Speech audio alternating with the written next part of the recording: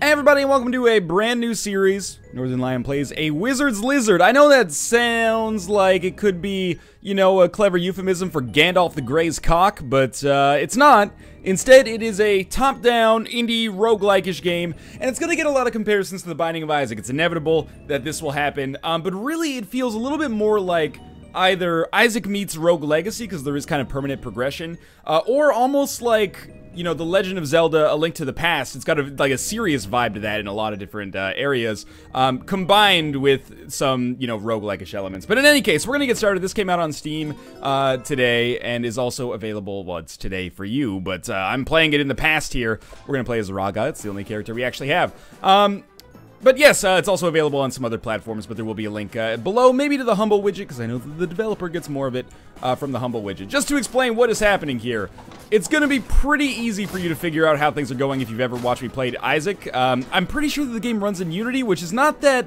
relevant for a lot of people, but it does mean that there's kind of like lighting effects like this that you can see. So it reminds me a little bit of like Delver's Drop or uh, Legend of Dungeon with the way the lighting works. But in any case, um, basically, pretty Isaac-like when you start. I mean, it's a twin-stick shooter. I'm using uh, WASD to move around and the arrow keys to shoot. You can shoot diagonally by holding two buttons down. You can also, I want to avoid killing this townsperson, you can also use the X key, and uh, this will create a totem, which shoots out some uh, fireballs every now and then. And this um, is just something that is time-gated. So every 30 seconds, you can pop one of those down. And you can also, this is going to make me a little bit worse off for when we get started, use a Soul Blast, which, uh, again, is gated by time, but also you need to have a Soul Orb to do it, but it's a magical attack that does a lot of damage. So, you always start with a little bit of money, and as I understand it, as you progress through the game, you unlock more townspeople, thereby allowing you to start with more money, um, and that allows you to buy gear at the start and stuff like that, and, um, well, you'll see as we move along here. There's a lot of interesting stuff going on in this game, you know, um, compared to Our Darker Purpose, I kind of like this uh, the the gimmicks that are on here a little bit more.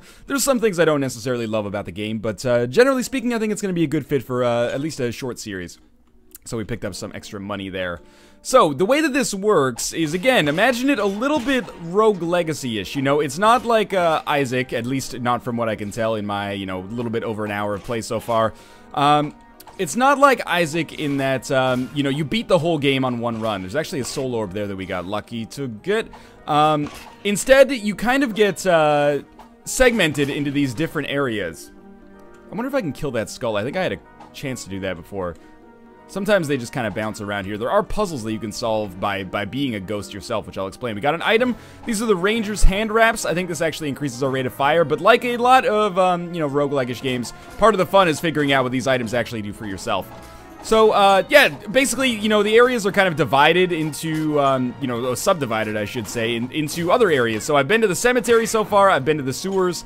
Um, we'll have three levels of the cemetery, and then uh, we'll have a boss fight after that, and hopefully I'll be able to at least get to that point. Maybe we can free some townspeople. I've never done that before. I wanted to start uh, the series before I act actually, like, improved our town at all, just to make, uh, you know, things a little bit more easy to follow.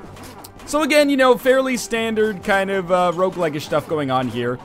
I'll, I'll, probably do a let's look at of the game that's going to be out at roughly the same time. So if you want to hear like more more critical thoughts or more editorial type thoughts about this, um, we can farm some zombies here if we want to. By the way, if you walk over those dirt patches, we can just farm them and possibly get some gold. There's no experience mechanics, but you know, 50 gold doesn't really make that big of a difference either. But I guess it does add up if you do it enough. Um, items are typically kind of expensive, so again, 50 gold doesn't make a big, a big difference, but um, you know, three or 4,000 definitely can. Just to explain what's going on at the uh, top here, oh, some extra gold for us. Um, 40 is our health, and you can see that it's 40 out of a, a number that's higher than 40, which I believe is uh, 50, but I did take some damage from one of these enemies. This enemy charges at me when I do my first attack. I should really use the, um, what was I gonna say? I should really use the, uh, the totem more often because it doesn't actually, like, require anything to use. There is one more level we didn't go to here, but if you look on our map, you can see that that's the exit to the floor. Um, the sword indicates our weapon. I think it's kind of weird that we're throwing swords, but that does happen in, you know, A Link to the Past, for example. Um, the like running indicator, I think is an indicator. Oh, there's a, a, shop here. I may be able to buy something. And actually, there's another room down here. So let's come to this room first and see if um, I can farm up some delicious gold. This room strikes me as like maybe a little bit puzzly. Maybe if I kill all of the enemies, I'll get some kind of reward here. But again, I'm as much in the dark as you guys are. for stuff like this. I've, I've never actually, um, you know, made substantial progress, so hopefully we'll be able to do it together. Should point out, again, um, if you want to play it for yourself and, and, go on the journey with me, uh, 15 bucks at, uh, you know, the whatever store is in the video description below.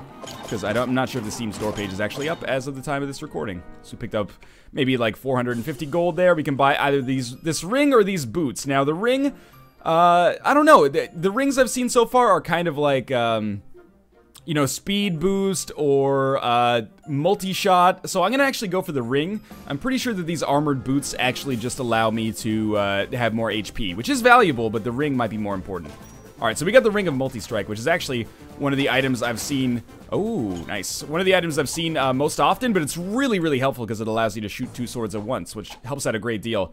From what I've seen so far, uh, the items that you get, you know, it's, it's not really like Isaac in the sense that you get a ton of like crazy items that totally change the way you play. It seems a lot more like, um, it, it's pretty skill dependent, but your attributes can be, you know, pushed one way or the other. We got very lucky to get some food there. Um, your attributes can kind of be pushed one way or the other based on the, the items that you pick up. So it seems a little bit more kind of vanilla based, almost a little bit Spelunky-ish. You know, you never, you know, you get a jetpack or something in Spelunky. Um, that changes the way you play. But apart from that, you know, you just you're you're Mr. Spelunky, right? You never shoot a big laser beam out of your head that destroys everything on the floor. Uh, in any case, so multi-strike is really good. We also, um, it kind of in keeping with the uh, Rogue Legacy vibe, there are things called blueprints in the game. And basically, the more blueprints we get, the more items we can actually purchase in the town that we kind of start in. Um, so we don't always have to start with a sword. We could spend some of our money and start with, you know, a spear instead or something like that. So this puzzle I don't really know how to beat, but we do just have to hit this switch. I think it involves being a ghost, and I've mentioned this a couple of times, this being a ghost thing that goes on in this game. Uh, and you might be a little bit confused about it, and you should be. I was kind of trying to keep it a surprise, but basically, in a Wizard's Lizard, uh, one of the one of the gimmicks that you have is that you actually get a second chance after you die. But it kind of turns the game. Oh my god, I'm doing so poorly here. Just wait up a second here. Um, you yeah, you get a second chance after you die, uh, but you turn into a ghost, and that's not ostensibly, you know, a bad thing. Just take out this enemy here. I really thought that maybe he would give me an apple or something. Um, but, you know, you start with the same amount of HP, at least on this character. You have to fight more enemies, as I understand it. But I also heard in a... That was so stupid. I, I can't believe I didn't take damage there. I also heard in a Steam review that there are some puzzles that are only solvable if you are a ghost. So that's kind of a cool mechanic that maybe um, we'll get to see more of a little bit later. I wouldn't expect to see it in this episode. I'm still very much a novice, but uh, we'll, we'll see if we can try it out. I'm doing really, really terribly right now, but that's okay. There's a treasure chest here. One thing I'm not such a huge fan of, at least so far, is that um, the way that equipment works is kind of like the way that equipment works in a standard RPG. So um, let's pick up this. That's very expensive. And we'll also open this. Oh, it's Mimic. Okay, that actually could have killed me pretty easily. Uh, yeah, we're gonna probably become a ghost. Oh, no, we killed it. We got some uh, HP back at least. Um, yeah, so what that means is, you know, we have the ring, the ring of multi-strike. Uh, that's great, but if we find another ring, we lose our ring of multi-strike. So we have to be very cautious about stuff like that. Uh, and it's especially weird because I don't really know what a lot of the items do. Obviously, this ring is a little bit of a different example because it's pretty easy to understand what it does, but, um, you know, for some of the stuff, I'm, I'm a little bit in the dark. Please don't be a mimic. We can actually buy some HP here. Don't be a mimic. Don't be a mimic. It is not a mimic. Those are free boots. Bo Demon's Hooves. If I had to guess, I imagine this maybe gives us a little bit more damage. You know, a little demonic damage seems to kind of work. Um, we're going to buy I think we're to buy Cupcake and Apple. So the Cupcake gives us 20 HP. The Apple gives us 5. I mean, that's a little bit expensive for what we got. By the way, if you die and you become a ghost, I believe that you can use this pentagram room to actually uh, bring you back to life. But I'm not 100% sure on that mechanic yet. Can you kill the shopkeepers? I'm sure that's going to be a very common question. Yes, indeed, you can. Um, do you want to? No. The doors will close, and uh, it'll be extremely difficult for you to survive if you do it. But if you succeed, then you do get items for free. There are also some, uh, you know, trap-like rooms. This isn't really like a, you know, 100% objective trap room or something like that. But there are fans here that are kind of pushing me around. That's what those wooden things are. Trying to push me around like a Matchbox 20 song. Can we actually destroy the fan? No, we cannot. Okay. Now, this owl is like the most annoying enemy. But we killed it because of our multi-strike ring. Not a mimic. Not a mimic, it's a book. Monster Manual. So I actually don't know what this does, um, but I assume that it has some kind of passive effect. Now, we can't buy this map. Uh, I actually have never bought this, so I don't know that it's a map. I'm just assuming. And a lot of people are going to be like, oh, Isaac ripoff. It has a monster manual in it. Well, you know, keep in mind... Oh, why did I... I think I got blown back through that door. Don't do it again. There we go. Um, you know, it wears its influences on its sleeve, and I don't think that's something to hold against the game, even though I do think that, you know, Isaac is a major inspiration here. Um, there, there is seriously, like, this is not just Sushi Castle, basically, is what I'm trying to get at. It's not even Our Darker Purpose, which had its own unique vibe as well.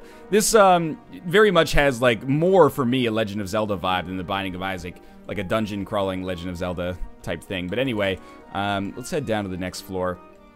Uh, and what I, what I meant to say is that some of the items in Binding of Isaac were also nods to items in Zelda. So I don't, I'm, I'm just cautioning you to be wary about being like, look at totally, wow, that was a huge uh, barrel there. Uh, I'm cautioning you about being like, oh, this game rips off like this item from the Binding of Isaac when, oh, I hate, let's try this totem. I don't think it'll work too well, but uh, maybe it will. Um, but yeah, when maybe it's actually like from the Binding of Isaac, yes, but via, you know, that game's love for um, Legend of Zelda to begin with. Anyway long story short, hopefully you understand what I was getting at there. So those are basically like blue turrets from the Binding of Isaac. They, uh, they spawn into you, unfortunately. Uh, the Angry Owls are pretty annoying. I'm gonna see if I can just take out, uh, these Zambros first. Because I would rather not trigger the Angry Owl. Once you hit them, they start to get angry. And, you know, we are on Cemetery 3 now. Uh, enemies become substantially more difficult at this point. They start to get to the point where they're shooting at us. Um, Let's see if this is a mimic. It is not. Those are greaves or gloves. Gauntlets. Battle Mage Gauntlets. So I'm assuming that those probably increase the damage of our uh, magical attacks, which means I think I'm going to prefer to go with Ranger's Hand Wraps, which may or may not give us more damage. Let's keep moving along. Here we got another shop. Uh, I, I really want to buy that 13,000 gold item. I really doubt I'll be able to afford it. There's our boss room as well. And you know what? Because we have so, like, we're never going to have more HP than this in all likelihood, we should just go fight the boss right away. And we might actually get enough to buy, like, that flame spear or ice spear or whatever it is. The boss fights are also where the, uh, like, Legend of Zelda vibe comes in in full effect. So I'm going to try to use as many, um, as many of the turrets as we can. I think there's two different variations that I've seen on this boss, um, all of which involve this, um, you know, spinning kind of gauntlet of death here. Um, but if we just stay far away, eventually he kind of like runs out of steam, and that allows us to get in there and do some shots, which can be helpful. And, um, you know, we can also do some magical attacks, which will do a lot of damage. I kind of want to avoid using those as much as possible, because it is like a bomb type situation. I actually think that the boss is, um, the boss fights in the game are pretty difficult. I don't think the consumables go away, so I can just wait till it's safe to pick up that apple. And uh, that seems pretty good. We're about halfway through the boss fight so far. Certainly, I mean, a lot of it is probably because I'm familiar with the boss patterns in Isaac, but um, I, I, certainly feel like the boss fights are a little bit more of a big deal in this than, than they are in Isaac, but it is, again, you know, worth noting there's a little bit of obvious bias there considering how much I've played Isaac relative to how much I've played uh, this so far. So I'm probably going to get killed here, but again, I will come back as a ghost, which gives me kind of a second chance, so I think we'll at least be able to see the sewers and maybe I'll be able to free some townspeople in the process. The overall goal of the entire game, I believe, is to, like, rescue your wizard, you know? We're a wizard's lizard. Our wizard was trying to cook up, like, some kind of potion that would um, grant eternal life, but instead he got kidnapped by Death, because Death was like, you think you can, you know, supplant me as the Lord of Destruction or something like that? I don't know. You know, fairly standard stuff going on here. Um, I would rather get through this fight without getting hit and killed and turned into a ghost. We've basically despawned all the zombies because the fight's been going on for so long. We might be able to do it here. He's pretty mad. I very nearly got hit there. Um, gonna try to throw down a turret pretty soon, or a totem, as they are called actually in the game. That should be pretty good. And like a couple more hits. Come on, totem, you could have worked with me. I was so close, but we're not dead yet. We come back as a ghost. Which means we have to fight the ghost zombies. So remember there was those ghosts like flying around on the screen? Now we've entered the ghost world. So we have to fight some more of these ghosts. He was seriously like two hits away from death. That's kind of frustrating for me. Alright, so we got a health potion, which I probably shouldn't have even taken because um, there's no point to it when we already had full health. And everything becomes a lot brighter, which is actually kind of like nice as well. Uh, and we got two magical orbs, or soul orbs, I should say, for our troubles there. And, um, well, at the very least, we can buy that ring. Uh, but do we want to buy that ring? Because it'll take away our, our multi-strike, right? So this is what I mean by the game getting harder after you actually die here. But um, we're going to try to farm up some, some money as well to get our weapon changed. Because we already have a decent uh, ring in the form of that multi-strike ring. So if we can avoid using that, I would feel better about it. Maybe there's some uh, pentagrams on this floor as well where we can revive ourselves. I doubt it, but we'll see. So, uh, some of the enemies are also more difficult, I think. Like, this bat is going to be more problematic than the average bat, I think. Maybe not, though. Oh, and the skulls are, of course, like, real enemies. Now, basically what it means is that you enter the ghost world where the ghosts that you could see in the corporeal realm are actually now, like, real hazards for you. Uh, the werewolves are maybe the most annoying enemy because of that, you know, teleportation trick that they have. And they become zombies after they die. Oh, it's a mimic, okay. I seriously saw, like, in my previous two games, I saw one mimic. So to see two in one game, although it has been a fairly long game by my standards, is, is kind of absurd. This is also a mimic. Okay, well, now it's just getting uh, to the point where it's kind of predictable, so I kind of like it. We are getting dangerously close to act- Oh, there's a Zambro I missed. Um, let's actually farm these for a little bit, see if maybe we can get enough gold um, to have a good chance to uh, get that uh, extra weapon, because the extra weapon variety is something that we would very much desire. Oh, I'd let the freaking thing hit me. It sucks because, like, health is so hard to come by. We've discovered a few HP items, but it's certainly, you know, it's got a different vibe than Isaac, where, um, you know, you you find red hearts all the time, basically, uh, and, and getting hit is not that big of a deal. It's kind of a big deal in this because, uh, you know, cumulatively, it, it, does affect you. Mind you, you kind of have a one-up or an ankh, depending on your perspective, uh, from the start of things. That being said, uh, you know, it's still pretty difficult. Okay, you know what? Totem goes down. Um, we didn't die, which is nice. We may act- oh, there's a treasure chest. It looks like a good one. Is it breathing? It's not breathing. That's a lantern. So I actually don't know what the spiked lantern does. Oh, there's some meat for finishing this too. That feels good. And there are still a few rooms left. I'm still hoping to get to like 13,000, but I'm doubting that it's gonna happen now, but we'll try it out. And uh, after this run, I will, uh, if we die, to start the next episode, I'll, I'll, show off some of the stuff that goes on in town, because the town interactions are kind of what uh, sets this apart from something like Our Darker Purpose, uh, in particular. And again, I, I, don't mean to take shots at Our Darker Purpose or something like that. I do like a Wizard's Lizard more. I the, the freaking fan pulled me in. I couldn't get out of it. Um, I do like uh, a Wizard's Lizard more than Our Darker Purpose, at least so far. Um, but it's just a it's a convenient point of reference, you know, because well, there's another room up here. Good. Um, it's a convenient point of reference because they are, you know, similar games, and it just keeps me from being like Isaac, Isaac, Isaac all the time. Uh, and, you know, again, I, I, do think the Legend of Zelda vibe is, is a lot stronger in this than the even the Binding of Isaac vibe is. Alright, so this is going to be an annoying room. Kind of reminds me of, like, the nub rooms in Isaac. You know, where you get, like, a, a bunch of uh, green or red nubs. But as we take these out, I was really hoping that each one of these would pay out with, yeah, exactly what it just did right there, uh, a soul orb. The music, by the way, you can't probably hear it very well because of the way that I um, audio balance these videos, but the music in the game is really good. A little repetitive, but um, uh, very good as well. A, a real strength. Oh, there's another soul orb there. Okay. Oh, there's a townsperson. Okay, if nothing else, don't die here so I can rescue this townsperson and feel good about um, having accomplished something. Now, the way I understand it... Oh, come on, don't do me dirty like this. Don't do me dirty. The way I understand it is that by rescuing the townspeople, you get more gold to start each run with, which actually seems like super important. Just hold up a little bit. Be very cautious here, because this is like the whole run distilled down to its most important element. Okay, you're still a thing. Now you're dead. It's just the owl. And we've killed... Oh, no, there's another man-eater trap here. Now, there's a little bit of a spike. I just want to... This enemy should be so easy, but the pressure was on, so I got a little scared. There's some Zambros. That's okay. Thanks for saving me. I'll contribute 500 gold to support you in town. So there's an example of the kind of persistent element that goes on in the game, which I think is really cool. Uh, and, and it does set it apart.